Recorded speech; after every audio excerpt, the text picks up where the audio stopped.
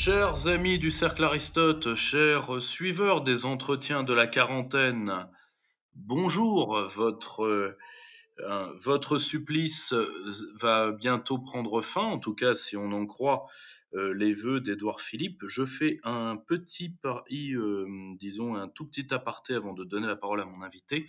Je suis un grand ami de la nature et un campagnard, hein, j'appartiens à ce qu'on appelle la France périphérique.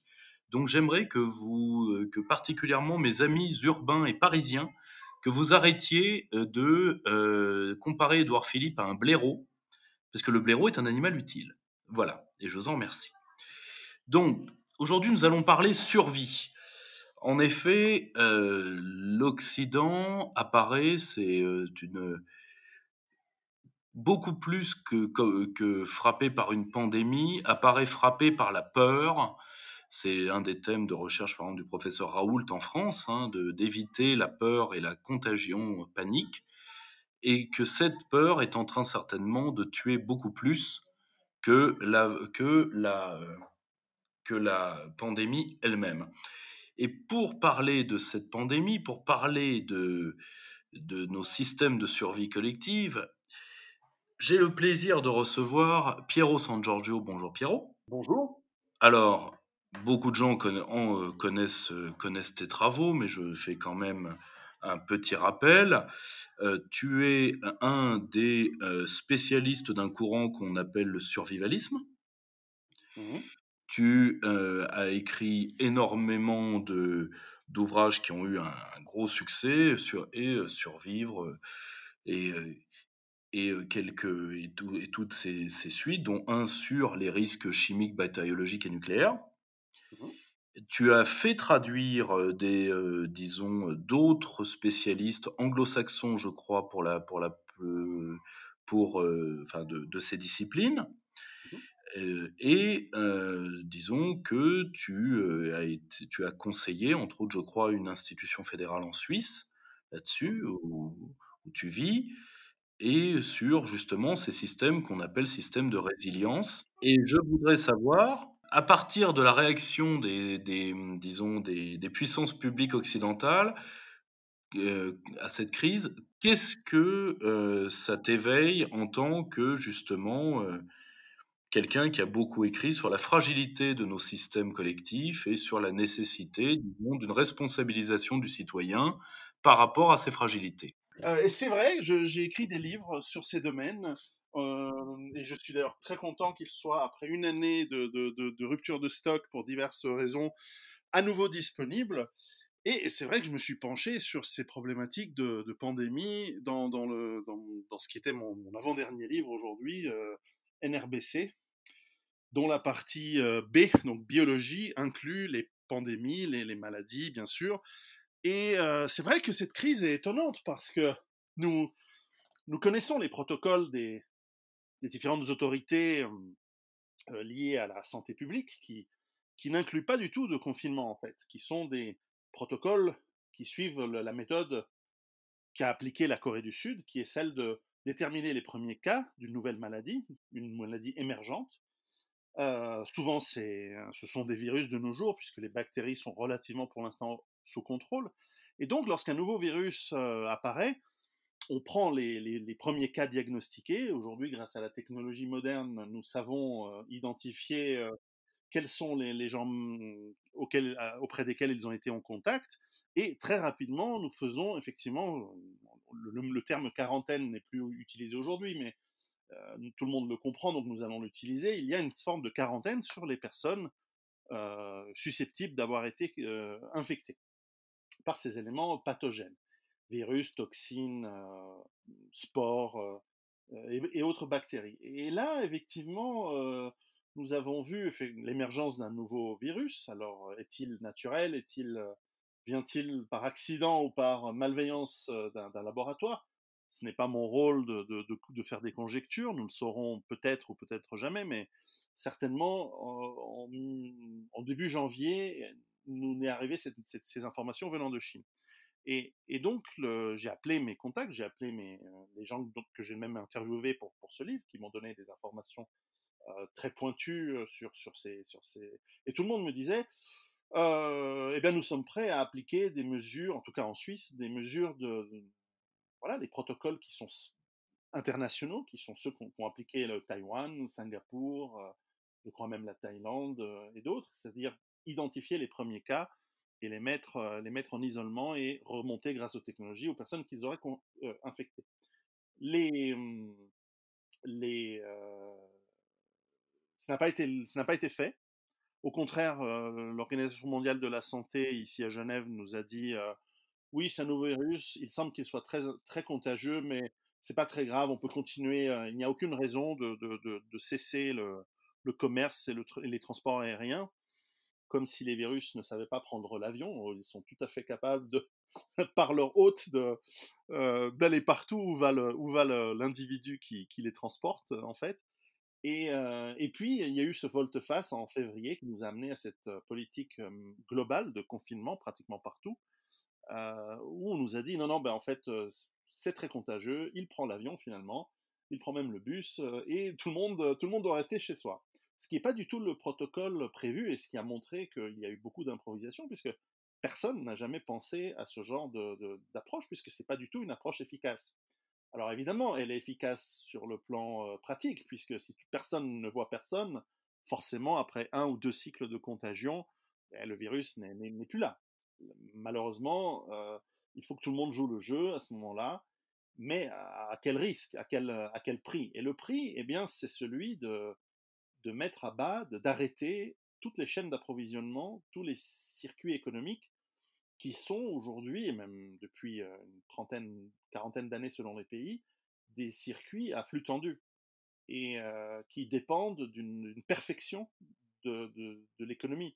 Perfection que le libre marché, que l'économie de marché tend à, permettre, mais avec des risques euh, assez importants, et nous les vivons aujourd'hui, lorsque ben, nous, demandons, euh, nous avons fort, heureusement de la nourriture dans les supermarchés, il y a un certain nombre de, stocks qui sont utilisés, mais c'est déjà très différent lorsque vous voulez faire réparer votre voiture, les pièces de rechange ne sont pas toujours disponibles, elles euh, ben, il y a des lenteurs, ça devient très difficile, et, nous avons de la chance qu'il ne s'agit entre guillemets, que d'une petite crise, je ferme les guillemets, euh, ce n'est pas comparable bien sûr à, la peste ou Ebola ou, ou, une, à une, guerre mondiale, évidemment. Donc nous, restons encore avec des circuits économiques qui, tant bien que mal, marchouillent, si je puis dire, si je peux utiliser ce mot. Mais clairement, nous, voyons la, fragilité du système devant nos yeux ébahis alors que nous sommes confinés à la maison en train de nous gaver de, pour, les urbains de, nourriture qui nous a été livrée par, euh, par les, esclaves des bobos euh, à vélo ou en mobilette, et euh, où nous perdons notre temps à regarder des, stupidités sur, sur, Netflix et autres services. À la campagne, c'est beaucoup plus intéressant, évidemment, puisque nous avons la nature autour de nous. Mais ce confinement ne peut pas durer. Il ne peut pas durer parce que cela voudrait dire à ce moment-là l'effondrement des circuits et des, systèmes d'approvisionnement. Et là, c'est la fin de l'économie. Et sans économie, il n'y a plus d'argent, il n'y a plus personne qui mange. Et là, on a un problème qui est euh, des millions de fois plus grave que, le virus. Et, je me pose la question si c'est de, l'impréparation, de l'incompétence, de la malveillance de la part d'ailleurs de nos gouvernements d'avoir improvisé ce, genre de, plan, alors que des plans existent largement sur comment gérer une pandémie? Justement, si tu veux, sans, sans proférer d'accusations, parce que pour l'instant nous n'avons pas d'éléments, c'est ce qui est très drôle, c'est que les, si, si, tu veux, c'est que le professeur Raoult le soulignait, c'est que les pays pauvres s'en sont beaucoup mieux sortis pour deux raisons. Premièrement, eux, bah, ils avaient euh, des plans euh, faits internationaux, ils les ont suivis. Corée du Sud, enfin là, pour le coup, on n'est pas dans un pays pauvre, on est dans un pays très étatiste et très, puissant. Mais de l'autre côté, des pays comme le Sénégal, comme la Côte d'Ivoire, comme le Maroc qui est plus riche, eux, bah, ils se sont dit, bon, c'est une, pneumopathie, on va la gérer comme une pneumopathie, donc euh, ils ont géré ça, isolement, chloroquine, hein isolement chloroquine. Jusque-là, ils ont fait que ça.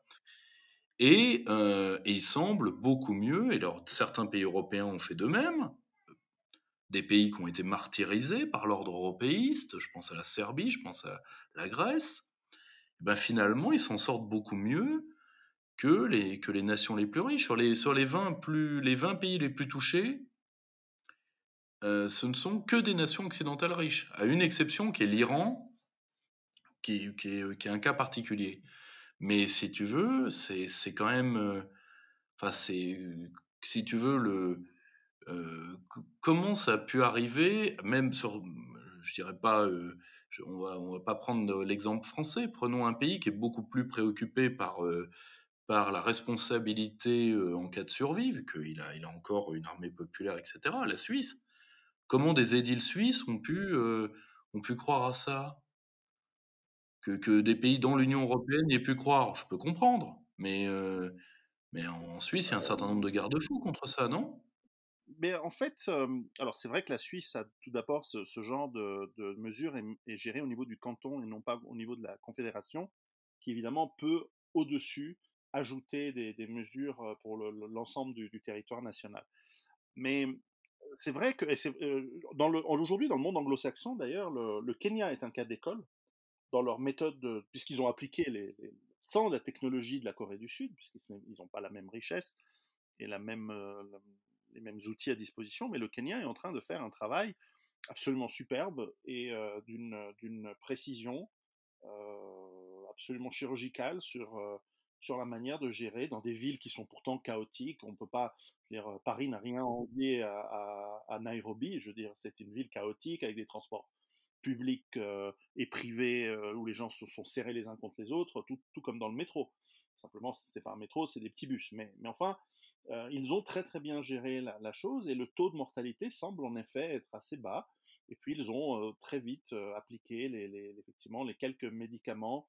Aujourd'hui, il y a plusieurs traitements. Il y a, il y a des traitements au plasma hein, qui ont été démarrés évidemment en Chine, qui sont très connus. C'est à partir du moment où on a des gens qui, ont des, défenses naturelles ou qui les développent par rapport à ce genre de virus, eh bien on leur demande un petit don de, sang probablement dans certains pays le, don est obligatoire, mais, mais dans d'autres il est volontaire. Et puis euh, grâce à cela, ce plasma est ensuite injecté chez des patients malades et on voit en général une, amélioration. Il n'y a pas besoin d'intuber avec des respirateurs qui font souvent plus de dommages et qui causent la mort euh, aussi plus sûrement que le virus lui-même. Enfin bon, je, ne suis pas médecin, je n'irai pas là-dedans. Pour la Suisse, c'est vrai que nous avions été, euh, nous avons été étonnés d'abord par la lenteur euh, de la prise de décision à fermer les frontières, parce qu'on nous expliquait que de toute façon, fermer les frontières ne servait à rien.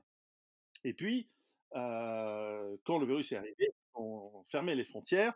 Ce moment-là, ils nous ont dit oui, ça sert à rien, mais on va les fermer quand même, euh, parce que pour limiter un petit peu la propagation. Alors, il faudrait un petit peu effectivement essayer de comprendre ce qui s'est passé. Moi, je, crois que alors, la bonne nouvelle, c'est que la Suisse, bien que c'est un pays où il y a eu un grand nombre de cas par rapport à la population, c'est aussi un pays qui a beaucoup testé et qui a, euh, en général, euh, beaucoup accueilli des gens malades euh, aux premiers symptômes.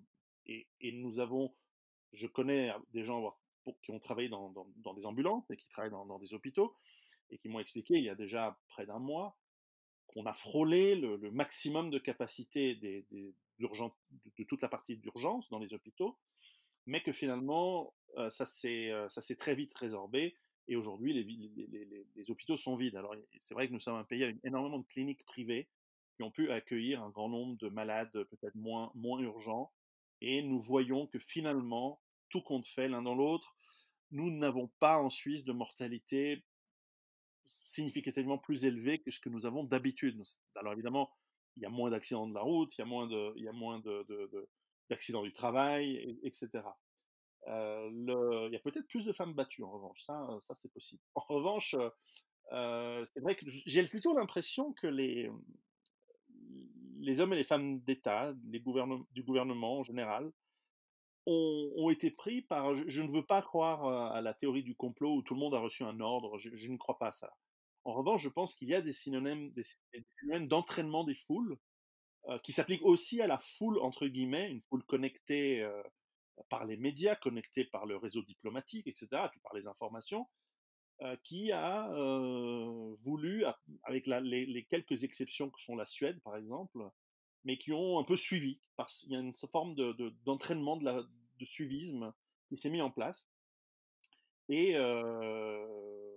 et, heureusement, en tout cas, la, population a, a, pris ces mesures avec sérieux, avec calme, en sachant que probablement ça n'allait pas durer plus que voilà les, le mois et demi qu'on nous avait à peu près dit comme étant la durée probable. Mais aujourd'hui, il est, urgent de redémarrer, ce qui, nous avons redémarré cette semaine un petit peu, les écoles reprendront aussi le 11, il est urgent que l'économie redémarre. Alors ensuite, si cette maladie est vraiment dangereuse, eh bien, recommencer l'école est une bêtise. Si en revanche elle n'est pas très dangereuse, il va falloir un petit peu nous expliquer toutes ces mesures sans forcément. nous, avons eu la chance, en tout cas en Suisse, de ne pas avoir eu des mensonges éhontés à la télévision par des ministres. nous n'avons pas vraiment des ministres, mais, les autorités nous ont pas raconté des, sornettes comme dans d'autres pays. quant aux masques qui ne servent pas, etc. Au contraire, ils nous ont dit non, non, mais protégez-vous, effectivement, y compris avec des masques, etc. Alors, moi, ce, que, ce qui, ce qui m'intéresse beaucoup dans cette crise, et, je crois que c'est ce qui intéressera vos, auditeurs, c'est que si nous attendons de, des États, alors que les États soient stratèges et qu'ils soient prévoyants, ce serait souhaitable, ce serait bien. Mais en tant qu'individu, en tant que citoyen, en tant qu'adulte responsable, en tant qu'habitant d'un territoire, peu importe, à partir du moment où on est là, je crois que c'est notre responsabilité de nous protéger face à effectivement un risque qu'on considérait comme étant, d'ailleurs, dans, le milieu médical, qui considérait inévitable que tôt ou tard, nous allions avoir une pandémie, et même plusieurs. là, nous en avons une. Et donc, il est important que le citoyen, l'individu, prenne sa propre responsabilité, de sa propre sécurité, d'abord de sa santé, c'est-à-dire d'avoir la meilleure santé, donc le meilleur système immunitaire possible, par une bonne nutrition, par tout ça, ça paraît évident, mais il faut le rappeler. Ça, ça fait partie également de la survie, d'être en bonne forme physique, de ne pas manger dans des, trucs d'alimentation rapide quotidiennement, surtout les Américains. Enfin, voilà, de, manger des fruits, des légumes, sainement, bouger physiquement, avoir des activités sportives, avoir des amis. La, santé psychique est très importante, ne pas être aliéné dans des métiers sans intérêt, sans utilité. Bref, tout ça est assez connu, mais il est bon de le rappeler. Et puis, il y a la préparation en cas de, justement, de rupture de ces chaînes d'approvisionnement, et finalement de ce qu'on appelle dans, le jargon, en tout cas c'est la rupture de la normalité, c'est-à-dire que lorsque ce que l'on considère comme normal bah, disparaît. C'est le cas d'un confinement, ça aurait pu être le cas d'une guerre, et de manière peut-être plus banale, c'est le cas lorsque vous perdez votre travail, c'est le cas lorsque vous divorcez, c'est le cas lorsque votre, vous avez un, pépin de santé grave, euh, ou c'est le cas lorsque votre maison brûle, comme il en arrive euh, une chaque deux minutes, par exemple, en France. Et donc, euh, dans ces cas-là, il est bon de prévoir comment, peut-être pas garder la normalité à tout prix chez soi, mais comment tenir le coup pendant une un certain temps. Et, nous, ce que l'on, dans, le mouvement survivaliste, plusieurs écoles, etc. Mais en tout cas, moi, ce que je préconise dans mes livres, c'est de développer son, autonomie et sa résilience.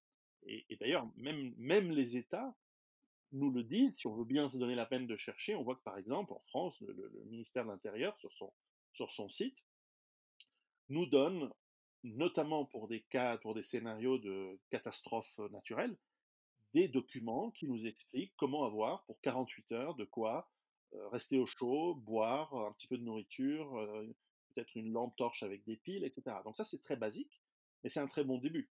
Et puis, nous pouvons développer cela à plus grande envergure pour tenir à des crises euh, comme celle-ci, parce que nous avons eu de la chance que les, supermarchés, l'alimentation continue à tourner, pour l'instant en tout cas.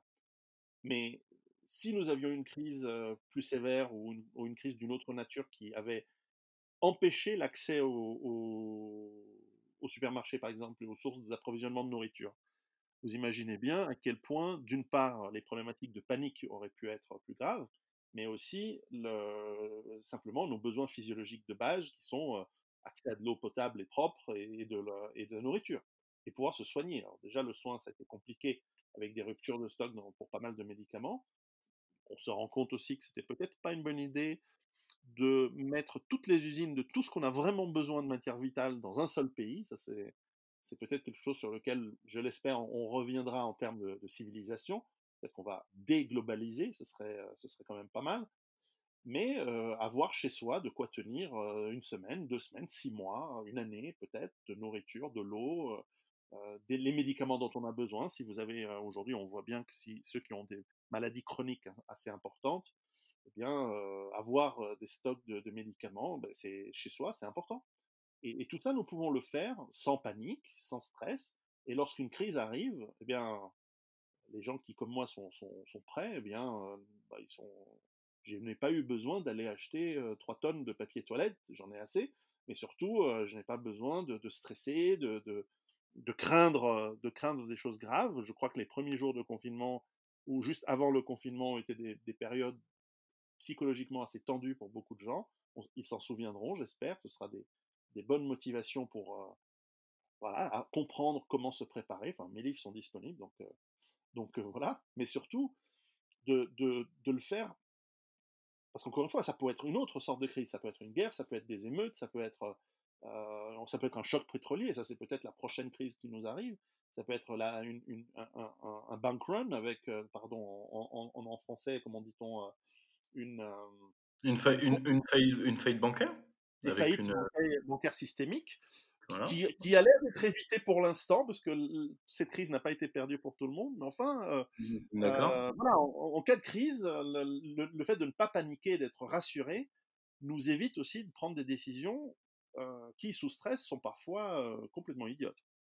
J'en viens justement à une, à une, une question si tu veux, je alors je ne sais pas si tu avais été, euh, questionné sur ce point-là quand des autorités euh, quand des des autorités publiques, euh, avaient fait appel à toi.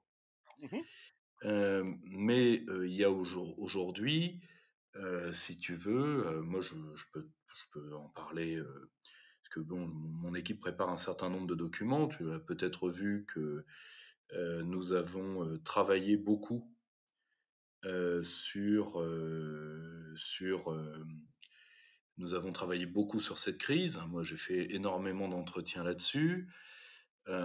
Jusque-là, d'ailleurs, les données que nous, avons, que nous avons mises à disposition se sont avérées justes. Mais je, vais te le dire assez sincèrement, moi, ce, cette, cette, crise a fait un peu sauter chez moi un verrou libéral qui était assez fort, chez moi qui était de faut pas se mêler de la vie des gens. Si tu veux, faut, faut pas leur donner trop de conseils, etc. Bon. Euh, néanmoins, je me rends compte que euh, on ne s'en sortira pas sans une sorte d'éducation à la responsabilité qui n'est absolument pas dans la, dans la culture occidentale d'aujourd'hui. Mais euh, tu vois, je, je bon, j'ai une enfant en bas âge. Je vois des choses très belles qu'on lui fait faire à l'école sur l'écologie, sur le respect des animaux, sur le respect des personnes. Je peux tout à fait en comprendre la nécessité, mais est-ce qu'il ne faudrait pas, selon toi, qu'on commence à réfléchir sur, un nouveau type éducatif pour nos enfants, parce qu'ils vont être face peut-être à des crises plus violentes que les nôtres? Oui, alors certainement. Alors euh, évidemment, je, ne sais pas, vu, le niveau de, ce qu'on appelle l'éducation nationale dans, votre pays ou chez nous, euh, simplement l'école, euh, vu le niveau, et on, le constate aujourd'hui alors que nous devons faire l'école à nos propres enfants, nous, nous, nous rendons compte à quel point le niveau est bas, à quel point la charge de travail est, nulle. Et, et, et, surtout, alors je vais encore m'attirer des ennuis, mais surtout le, à quel point les, professeurs euh, qui s'occupent de nos enfants euh, sont très contents d'être en vacances euh, deux mois en plus encore cette année. Bref, donc oui, il faudra, il faudra certainement ajouter à ce corpus scolaire une forme de responsabilisation. Et, tu l'as dit, dans l'Occident, l'a eu dans le passé. Dans le passé, on allait à l'école à pied. Parfois, euh, nous avions, je, je, connais des gens qui, qui ont peut-être euh, de la génération de mes parents, donc des gens qui ont plus de 65-70 ans, qui, lorsqu'ils étaient petits, ils allaient à l'école avec un fusil. enfants, je parle d'enfants, hein, je parle d'enfants qui allaient à l'école avec un fusil parce que s'ils pouvaient voir un petit rongeur comestible ou un écureuil en allant euh, à, l'école, ils, ils, pouvaient le tirer, le mettre dans leur cartable et ainsi ramener euh, quelque chose qui allait améliorer l'ordinaire à, à la, maison. Et les parents étaient très contents qu'ils partent avec leur petite carabine à un coup euh, en 22 longs rifles pour, pour chasser. Alors aujourd'hui, ce serait totalement, alors même, même dans la campagne, un truc complètement inconcevable qu'un enfant de 10-12 ans se balade avec une carabine. Mais c'était comme ça il y a encore... Euh, Mais j'abonde dans ton sens. quelque chose que les Français ignorent et je pense qu'il y a de, certainement des exemples parallèles en Suisse ou ailleurs, on oublie que c'est l'un des pères de la République, c'est Gambetta, mmh qui a créé les bataillons scolaires qui feront euh, la France, euh, la France de, de, l'abnégation de 14. Les, je dis bien les bataillons scolaires, c'est-à-dire des, des, des, des enfants qu'on a préparés parce que c'était un risque qu'on ne souhaitait pas, mais on les a préparés par la nourriture, par la, par l'entraînement physique. Je ne dis pas, qui, évidemment, entends-moi bien, je, ne, je n'entends pas euh, militariser les populations. Je, je, dis juste que là, on est face à une crise de la mollesse. Mais si tu veux, c'est plus haut de mort, c'est qu'on a pris, on a pris le coup sans, sans parer. Comme euh, pour prendre une métaphore de combat, on n'a on pas levé la garde, on a pris le coup et on est tombé. Bon, ça, si tu veux, c'est, c'est pas. Ton, ton collègue Laurent Heininger euh, le dit très très bien, une, population euh, armée dans le sens d'une milice comme la Suisse est mmh. tout sauf une, société militarisée. C'est bien l'inverse. C'est bien l'opposé parce que, lorsqu'on a cette responsabilité du citoyen, dont nous avons pris l'exemple de la défense, de la défense de, son foyer et puis de sa nation, c'est tout sauf euh, laissé à des professionnels euh, le, à l'allemande en 1914, avoir des plans fous qui ensuite euh, nous, nous, traînent dans, les abîmes et dans, des problèmes euh, extrêmement coûteux en, vie humaine et des désastres. Mais on pourrait prendre un autre exemple pour, ne pas aller que sur celui-ci, mais effectivement, la, production de nourriture pendant très longtemps, il était un devoir civique et, une, nécessité de survie pour une grande partie de, de la population de produire sa propre nourriture dans ce que l'on appelait les jardins ouvriers, ou euh, euh, il y a d'autres termes pour, ce genre de, concept, qui est celui d'avoir des lopins de terre en ville, pour que euh, les habitants puissent avoir notamment alors, un espace dégagé du béton et des constructions, mais aussi de, l'asphalte, mais aussi d'avoir un endroit où on peut chacun, avec ses petits, ses petits 20, 30, 40 mètres carrés, produire des choux, des pommes de terre, quelques fleurs, avec son petit cabanon et quelques outils. Ça existe encore, ça existe encore dans beaucoup de villes. Euh, malheureusement, ça s'est évidemment réduit.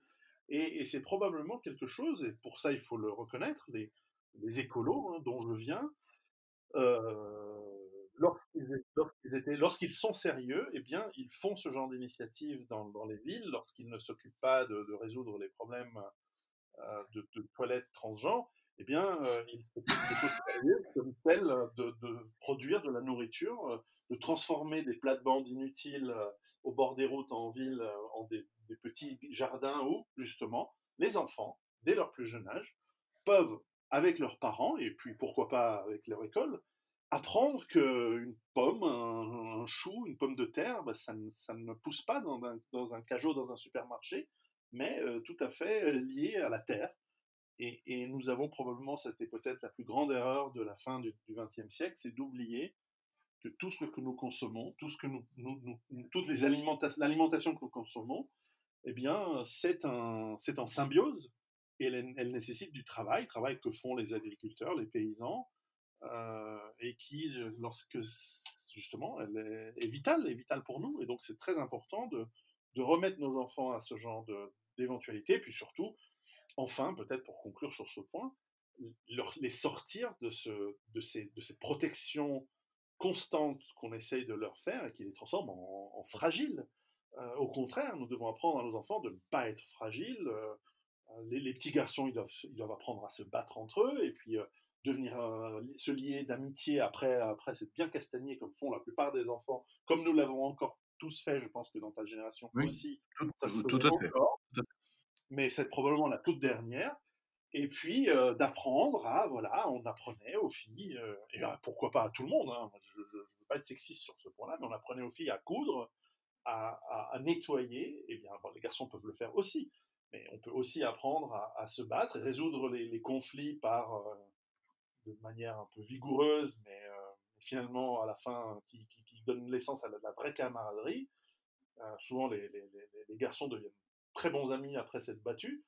Euh, ce sont des, éléments d'antifragilité que nous pouvons développer en chacun de nous et qui sont euh, ce que nous avons toujours fait dans, toutes les sociétés, à part les périodes de décadence. Et il serait temps que nous mettions un terme à la nôtre. D'une manière ou d'une autre, elle se terminera. Très bien dit.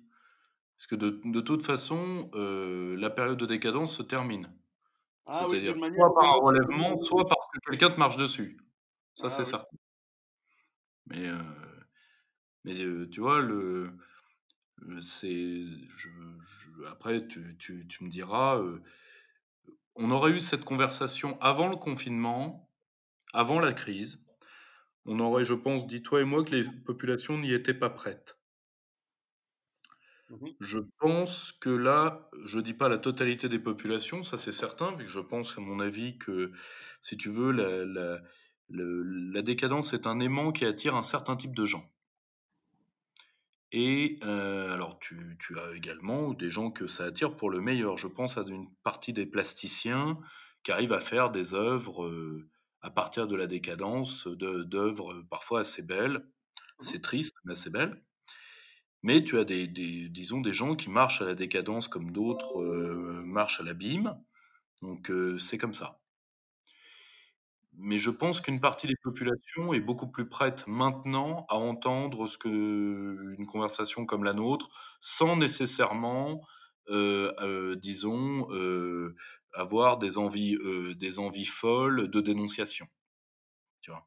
Je pense qu'il y a des oreilles qui vont se se tendre à un discours de responsabilité dans ce qui va dans ce qui va arriver.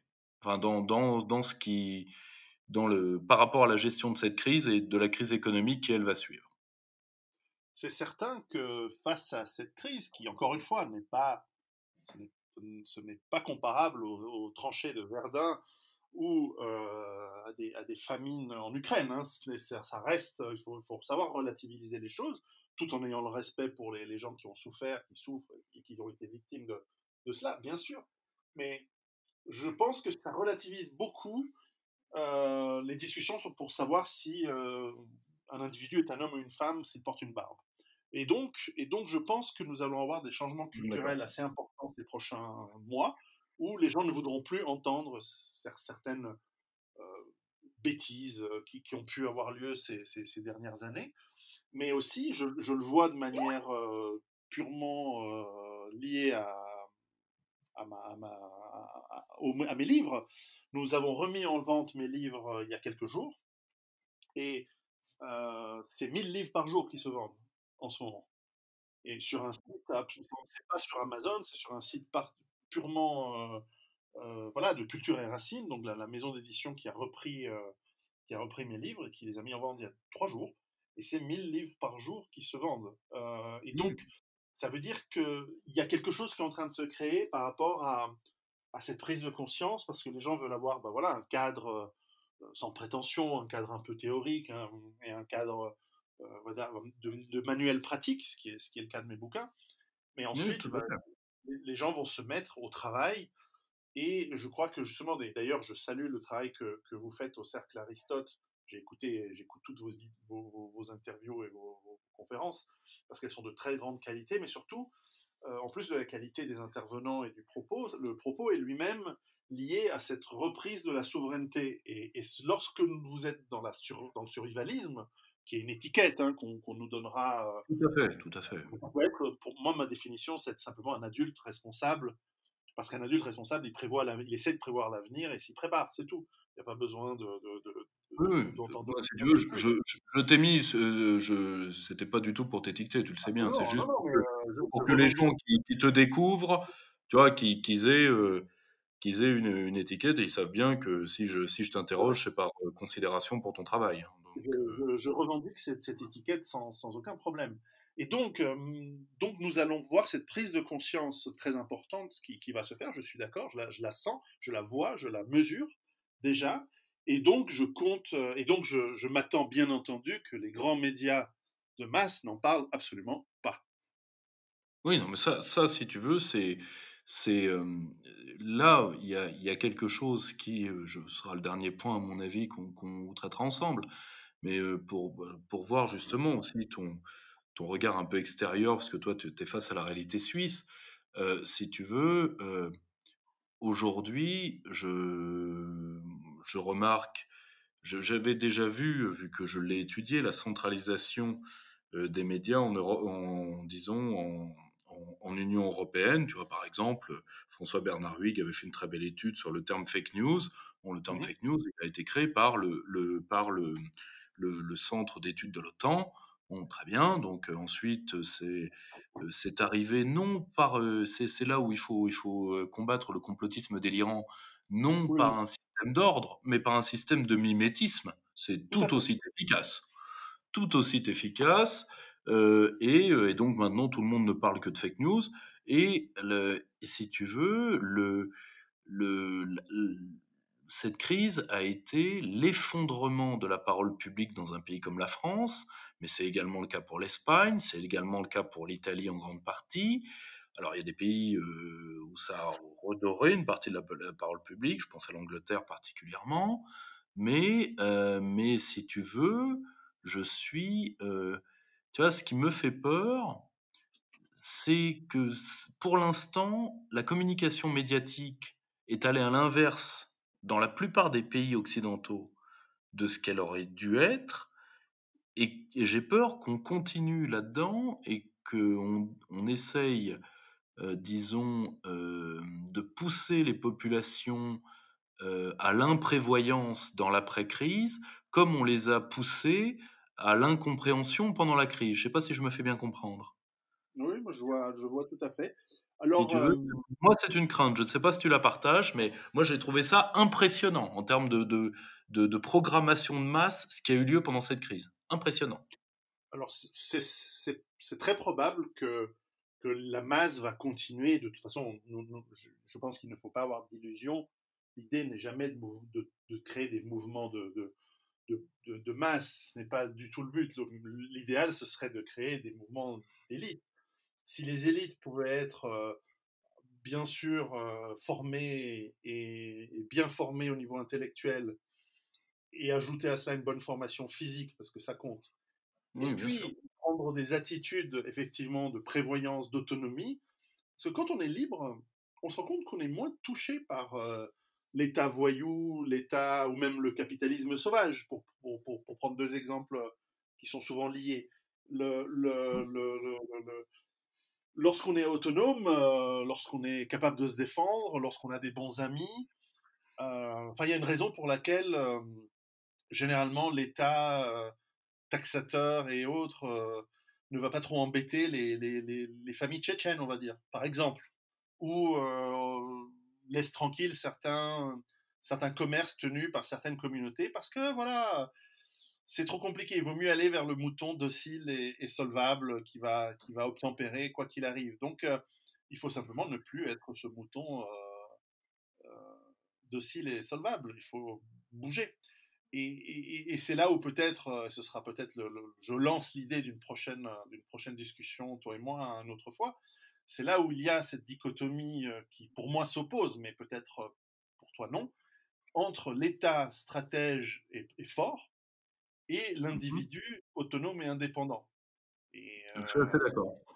si tu veux, je suis, assez, je suis assez d'accord. de toute façon, si tu veux, toutes les théories républicaines sont des théories, parce que si tu veux, le, c'est un, comment dire, ça a été une, dans une discussion privée, j'espère qu'il, ne m'en voudra pas de, d'y faire, d'ailleurs, d'y faire référence, mais ça a été, une, disons, quelque chose que j'avais échangé avec Étienne Chouard.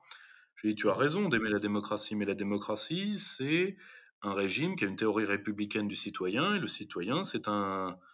Euh, le citoyen en théorie républicaine, c'est pas du tout Charlie. C'est un, c'est un, euh, c'est, un, dans toutes les théories républicaines, la Suisse, vous êtes bien placé parce que ça a été sûr, entre autres, euh, euh, l'exemple rousseauiste, mais dans les théories républicaines, le citoyen est armé, déjà. Mmh le citoyen est armé. Le citoyen, plus encore qu'armé, est entraîné à se servir de son arme. Parce que tu, si tu veux, c'est pas uniquement pour, pour le faisant. Et, euh, et le, le, citoyen est, disons, fortement, euh, disons, encouragé à avoir un petit lopin de terre à lui. Enfin, si, si tu veux, il faut, voir ce que c'est. Les, enfin, si tu veux, le, euh, tout le monde pense quand, que la démocratie, c'est une doctrine molle, que la République, c'est Manuel Valls. Enfin, moi, je suis historien des idées politiques. Je peux dire que par rapport à ce que sont ces réalités politiques dans l'histoire, euh, ça horrifierait, euh, ça horrifierait euh, des gens qui, qui disons, face à leur réalité physique, demandent à un présentateur télé qu'est-ce qui vous dit que je suis un homme? Enfin, le, et c'est là aussi où une certaine droite dite radicale et délirante quand elle dit la Révolution française euh, ou la République, ça a donné euh, Conchita Wurst. Enfin, moi je veux bien, mais bon, Robespierre Conchita, ça m'apparaît un peu raide, tu vois, comme, comme passage. Tu vois, donc non, non, c'est moi, je, si tu veux, pour moi, si tu veux, j'avais fait une conférence qui s'appelait Nul n'est libre dans un pays qui ne l'est pas, parce que l'État-nation, parce que c'est une forme fragile, parce que mmh tu vois, elle ne peut pas envoyer, comme faisait l'Empire austro-hongrois, 40 000 Croates massacrés au fin fond, 20 000 Serbes, sans qu'un seul austro-hongrois soit tué, ou sans qu'un seul membre de la famille royale soit blessé. Tu vois, l'État-nation, il a ses propres forces. Tu vois? Mmh Donc, il aura mécaniquement de la casse en cas de conflit. Et s'il s'interdit de penser, tu vois, parce qu'il il porte la liberté, mais pour pouvoir sauver cette liberté, c'était le, sens de la conférence que j'avais fait, il doit pouvoir, euh, il doit pouvoir accepter la liberté individuelle. Et d'ailleurs, l'exemple là, la France le vit, parce que euh, entre, dans la guerre qui a été faite par une partie de l'élite française contre le professeur Raoult, une bonne partie des Français ont pris fait et cause pour celui qui vantait juste la liberté de l'esprit, parce que, mis à part la liberté médicale, cet homme n'a jamais rien demandé. et, si tu veux, c'est si tu veux, pour, pour moi, un État libre ne peut pas se faire par un régime par un enrégimentement, si tu veux. Euh, un empire peut le faire parce que tu auras toujours des, comment dire, tu, tu vois, des, des, des, peuples corvéables, tu vois, ça a été euh, les Croates pour les Austro-Hongrois, c'était euh, les Caucasiens pour les Russes, c'est-à-dire des, des, peuples que tu peux envoyer gorger les autres. Ça a été les, les Rohingyas par l'Empire britannique contre les Birmans, etc. Tu vois Quand tu es dans ces logiques-là, tu peux te permettre d'enrégimenter, parce que de toute façon, ceux que tu envoies au casse-pipe, c'est pas les tiens. Mais... C'est une logique impériale. C'est une logique impériale. C'est une, logique impériale. C'est une logique qui, à titre personnel, n'est pas la mienne, mais c'est logique avec soi-même. Alors que l'État-nation ne peut pas se permettre ce luxe, donc il doit supporter la liberté interne. En tout cas, c'est ce que je pense. On peut prendre l'exemple même plus très récent des 20 dernières années, des, des forces armées américaines où l'infanterie est essentiellement basée de, de, jeunes immigrés, euh, essentiellement latino-américains, en, demandant, demandeurs de, titres de séjour qui sont incorporés dans, l'armée américaine. Mais, et c'est vrai que c'est totalement à l'opposé de, la philosophie qui, qui a animé euh, Athènes, mais aussi, on l'oublie trop souvent, Sparte. Bien euh, sûr. La philosophie qui a animé euh, les créateurs de la Constitution et donc des États-Unis, qui, qui trouve sa source en Corse d'ailleurs. Euh, mmh. Mais enfin, euh, George Washington se réclamait de Cincinnatus.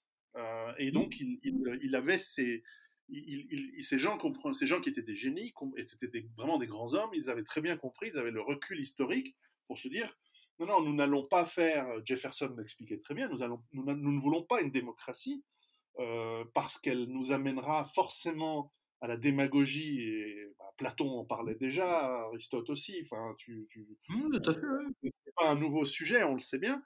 Et, donc, euh, effectivement, la Suisse euh, et, même une certaine forme de, de, républicanisme original à la, française qu'on a vécu jusqu'à la, encore jusqu'à jusqu'à De Gaulle, je pense. Oui, qu'on a vécu jusqu'aux années 70, hein, si tu veux. les parents l'ont vécu. Hein. Il y avait un État, alors peut-être que l'État fort français avait le risque, bah, il avait aussi une, un historique quasi impérial. Je dis quasi parce qu'on ne peut pas le comparer à l'impérialisme britannique ou velléité d'impérialisme allemand ou, d'autres. Mmh. Il faut regarder les comparaisons là où elle est, elle est raisonnable. Mais enfin, euh, il était basé, cet État fort, sur des citoyens qui étaient eux-mêmes forts et indépendants et autonomes. Oui, tout à fait. Ça, c'est la dérive euh, qui était annoncée dans, par justement Jefferson et Platon et d'autres. Cette dérive, c'est qu'au bout d'un moment, on infantilise et on déresponsabilise les populations. Mmh. De fait, parce que lorsqu'une crise arrive, eh bien, elle se trouve dépourvue et donc dépendante surtout de l'État.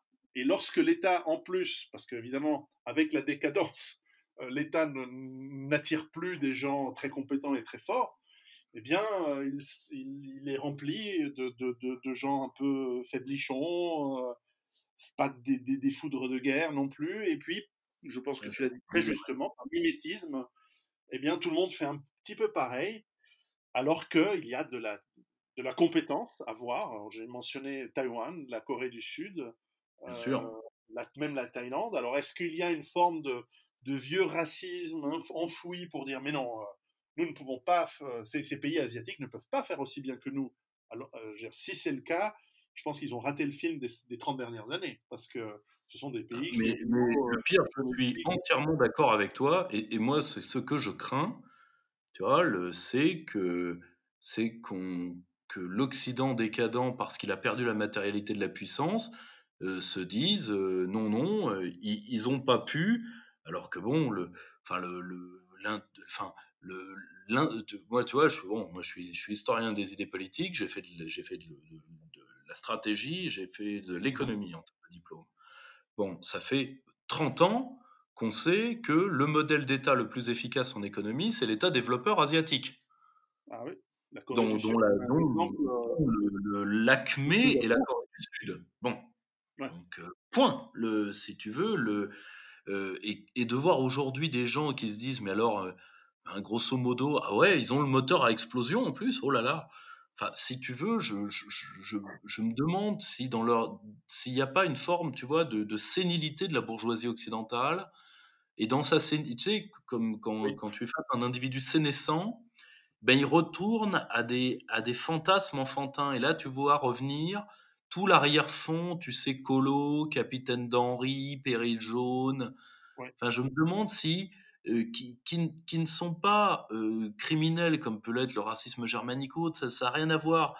Mais c'est tout un imaginaire, tu vois, Tintin au Congo, tu vois. C'est mmh pas méchant, c'est juste débile. tu vois, je me bah, demande s'il n'y a pas. C'est débile. Euh, alors, c'est pas méchant quand il s'agit de de, de, de, se comparer à, je sais pas, le, le, le, le, et c'est très désagréable. Moi, je déteste ce genre d'attitude pour avoir travaillé en Afrique, je déteste ça et je l'ai vu. Mais effectivement, lorsque l'on lorsque l'on lorsque l'on lorsque l'on se moque du, du, du, du programme spatial du, de la République démocratique du Congo, ça n'a pas de conséquences.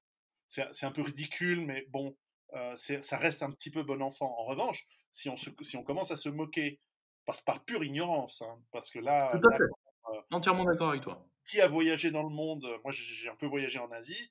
Euh, je suis revenu, j'ai mis des semaines pour refermer ma bouche, tellement la, mâchoire était grande ouverte quand j'ai vu euh, Taïwan, la Chine, la Corée du Sud, euh, euh Singapour. c'est impressionnant. Hein. Qui sont non seulement impressionnants au niveau de, la technique, euh, qui, qui, a largement dépassé l'Occident aujourd'hui, vraiment largement, mais aussi de la compétence individuelle et, collective, parce que les deux vont de pair. Quand on voit, le, quand on voit le travail qu'a fait le, le, le, je, ne me souviens plus de son nom, pardonne-moi, mais le, grand leader de, Singapour ou de la Corée du Sud. Lee Kuan Yew. Lee Ces gens sont des génies.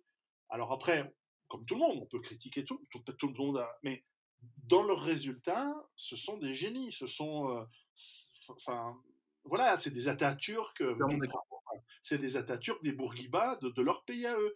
Et, nous avons, et nous avons euh, fort, enfin, je, je ne m'inclus pas dans ce nous, et, je ne t'inclus pas non plus, mais nous avons affaire à des gens qui, euh, qui ont ce, effectivement ce dédain et, qui, qui, à la fin, parce que c'est ça qui compte, et c'est ça le, côté pragmatique qui m'intéresse toujours, c'est que on doit aller chercher les, méthodes, et pour tout début, je parlais des protocoles qui existent pourtant, et c'est ça qui est incroyable, c'est qu'ils existent, j'en parlais dans mon livre il y a 4 ans, en 2016, lorsqu'il est sorti, on mentionnait dans le livre les protocoles de, gestion de pandémie, ces protocoles qui pourtant existent, ils sont appliqués et brillamment expliqués par, ces pays qu'on vient de mentionner, y compris d'ailleurs, on en a mentionné le, Kenya ou le Sénégal, etc., qui, qui avait déjà d'ailleurs montré, le Sénégal qui avait montré une excellente gestion de la crise Ebola en, en 2015-2016.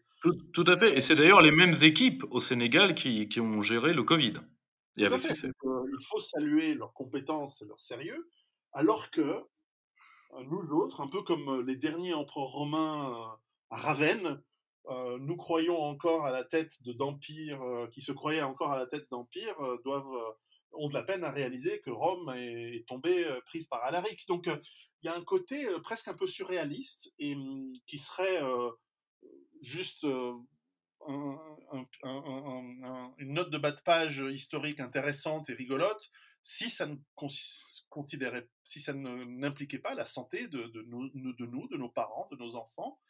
Et euh, je pense qu'il y a des comptes qui vont devoir être rendus. En tout cas, il faut faire en sorte que, une fois la crise terminée, et, et j'espérons qu'elle sera vite terminée, qu'on aille euh, un peu prendre les gens par les oreilles et leur dire bon, maintenant vous allez vous expliquer parce que euh, on va vous donner encore cette chance parce que sinon le prochain coup ça va être le tribunal du peuple parce que c'est ce qui arrivera hein, très vite. Hein. Je crains, des débordements euh, si, ces choses-là ne sont pas faites, si la justice n'est pas remise.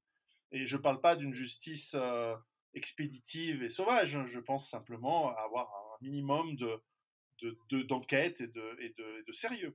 Et qu'une fois que cela sera terminé, eh bien, nous pourrons reconstruire et, et peut-être avec humilité apprendre, et j'inclus tout l'Occident là-dedans, apprendre à faire les choses euh, d'une bonne, d'une bonne manière pour l'avenir, parce que nous, en aurons besoin.